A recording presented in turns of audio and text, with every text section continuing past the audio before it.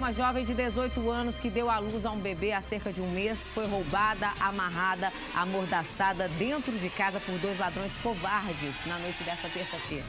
Depois de pegarem tudo, um dos covardes levou a moça para o quarto, estuprou antes de fugir da cena do crime. Os momentos de terror que essa vítima viveu e o desfecho desse crime absurdo, repugnante, eu diria, você vai conferir agora na reportagem do Wagner Relâmpago. Então põe na tela, diretora.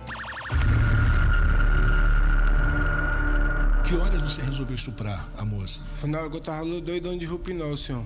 Aí tu fez o quê? Rapaz, se eu chegar, tava lá na cama dela, senhor, deitado, entendeu? Já deitei mais ela e foi daquele jeito. Aquele jeito que acontece, entendeu, senhor? Só foi isso que eu fiz só. Você foi e estuprou ela? Foi, sim, senhor. Quantas vezes? Uma. Só foi uma vez. Isso, isso só foi uma vez que foi. Não foi uma vez, não foi uma vez, não foi uns 30 minutos, entendeu, senhor?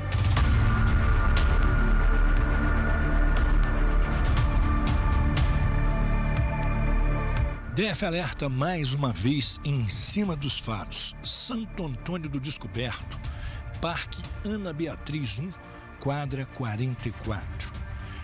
Uma mulher viveu momentos de terror, de horror. Essa mulher, que foi mãe há menos de dois meses, estava em sua residência. O marido dela estava na rua trabalhando quando, por volta de 11 horas da noite, dois vagabundos entraram na casa dela. Os dois entram na casa e começam a exigir da mulher dinheiro. Ela não tem dinheiro. Eles resolvem então levar o carro do casal. A mulher pede para que não levem. Ela fala: ó, leva a televisão, que é um objeto aqui da casa. Os vagabundos então começam a recolher os objetos da casa e em determinado momento, Carlos manda que o menor fique vigiando a entrada da casa, vira para a vítima, para essa mulher, 18 anos de idade, e fala para ela: agora eu vou me divertir um pouco, vamos para o quarto. Que horas você resolveu estuprar a moça? Na hora que eu tava doidão de rupinol, senhor. Aí tu fez o quê? Rapaz, se eu tava lá na cama dela, senhor, deitado, entendeu? Eu já deitei mais ela e foi daquele jeito. Aquele jeito que acontece, entendeu, senhor? Foi igual eu acabei de falar pra vocês. Só foi isso que eu fiz, senhor. Você foi e estuprou ela? Foi, sim, senhor. Quantas vezes? Uma. Só foi uma vez. Isso, isso foi uma vez que foi não foi uma vez, não foi uma vez, não foi uns 30 minutos, entendeu, senhor? Porque aí eu já tava apressado para nós pegar as coisas. Estava lá na casa roubada e esperei no carro, entendeu? E foi coisa rápida, entendeu? Você amarrou ela com. Você prendeu as mãos dela com sutiã? Não, foi com, com a toalha.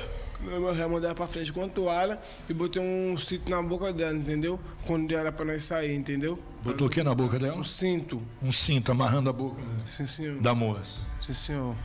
Enquanto Carlos praticava essa monstruosidade, essa selvageria com a moça, com a mulher de 18 anos de idade, o marido volta. Ao perceber a porta arrombada, movimento dentro da casa, ele corre.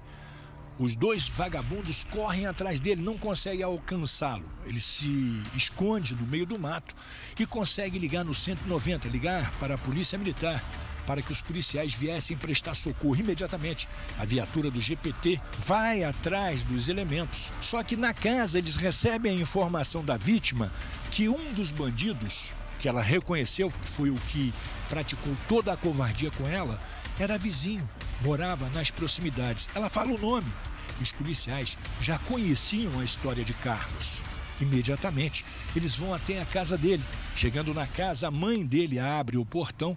Os policiais entram, encontram o vagabundo deitado, dormindo. Ele é preso, informado da situação.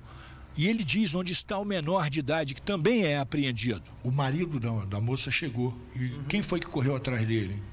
Quem correu atrás dele? Foi Pra tentar eu. pegar. Foi eu, foi eu, foi eu. Você ia pegar ele, ia tentar pegar ele. Aham. Uhum. Você saiu correndo atrás dele? Foi, senhor. Você já foi preso quantas vezes? De menor, uns 14. Por quê? Hã? Por quê? O 57. Só roubo? O 57, o porte, um tráfico. Agora você sabe o que acontece com Jack dentro da cadeia com estuprador. Não, eu sei disso, eu sei disso. Você não pensou nisso? Não, eu, eu sei disso, mas. Agora é puxar o arame, né? Puxar a cadeia. É, ué. Você saiu há quanto tempo da cadeia que você falou? Cinco meses já. Tava puxando pena por quê? Roubo. Do- Dois mandatos 57 e pessoas de medida protetiva. É uma medida protetiva. Você bateu na mulher?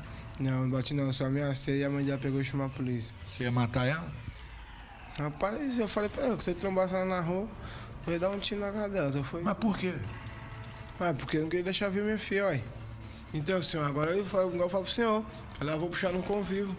Vai puxar no convívio. Você sabe que eu puxar no convívio? Porque já tem cinco meses que eu saí de lá, porque eu sou, os, os caras sabem como é que eu sou também. Eu tenho conceito também lá na, no Conceituado na cadeia. Conceito. Vai chegar um Jack conceituado na cadeia. É, vai, vai, vai, depender da boa fé dos caras, né, senhor? Se fosse sua mulher, como você se sentiria? Rapaz. O que, que você faria? da- da- aí, tipo assim, é, dependendo da cozinha, nós ia lá, passava fogo no cara, só isso. Jogava o cara para trás. É, ué, só isso, ué. Mais nada. Então você também não concorda com o que você Eu fez. não concordo não, senhor. Foi crocodilagem, trairagem. Foi, Covardia. Foi, trairagem. E você, como é que foi essa sua história? Eu só peguei as coisas, senhor. Aí ele te chamou e falou o quê? Nós só chegou lá, falou assim, nós pra ir embora, pegar as coisas, o carro e pronto. Eu só... Ele, ele contou a história que ele era vizinho, que ele sabia como é que era o esquema lá. Sabe que não, nós já sabia de tudo, entendeu? Você também mora lá perto. Moro sim. Você conhecia a mulher também. Não, conhecia a mulher não. E esse lance do estupro aí, quando você ficou sabendo, você não ficou chateado, não? Nós não tava lá dentro pra ver. Mas você está respondendo pelo estupro também, sabia? Você vai, você vai ser internado como Jack, você vai para cadeia como Jack. Cadeia não, para unidade de internação como Jack. E o esquema é o mesmo, a banda toca do mesmo jeito. Tu vai chegar lá com um conceito baixo, sabia disso? Sabia. E aí? Você já foi preso quantas vezes? Eu nenhum, essa aqui é a primeira. Primeira vez? Primeira Já vez. cai num roubo com estupro? Tá enrolado agora, né, menor? É, não é o jeito. O charame vai virar gente quando sair ou vai continuar nessa vida de vagabundagem? Rapaz, não sei não. Não sabe ainda não? Ser vagabundo é bom? Ser bandido é bom? Tem as vantagens. Qual a vantagem? Vai ter hora que o cara fica feliz, tem hora que o cara fica triste. Hoje você tá triste. Eu tô tranquilo. Tá tranquilo? Sim, senhor. DF Alerta, a notícia na velocidade certa.